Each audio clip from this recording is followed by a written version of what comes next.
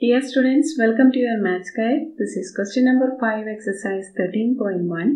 A hemispherical depression is cut out from one face of a cubical wooden block such that the diameter L of the hemisphere is equal to the edge of the cube. Determine the surface area of the remaining solid. Here, a hemispherical depression is cut out from top face of this cubical wooden block. The edge of the cubical block is L, which is equal to the diameter of this hemispherical depression.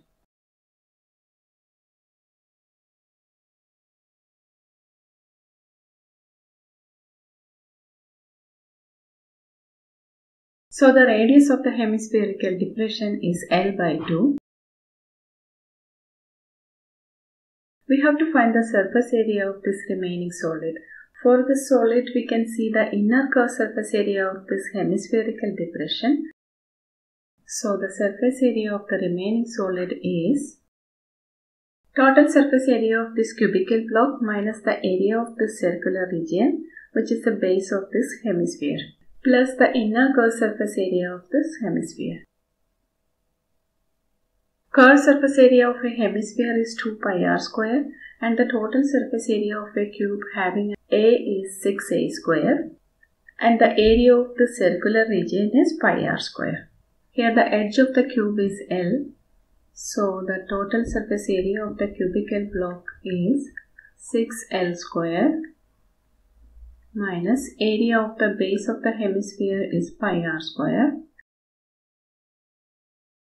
plus the curved surface area of the hemisphere.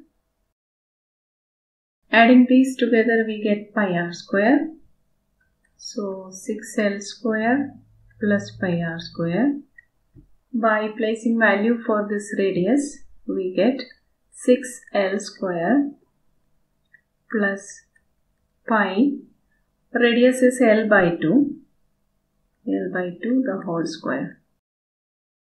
By taking square we get 6L square plus pi L square by 4. Here the LCM is 4. So 24L square by 4 plus pi L square by 4. Here 1 by 4 L square is common. Inside the bracket 24 plus pi. So the surface area of the remaining solid is 1 by 4 L square into 24 plus pi.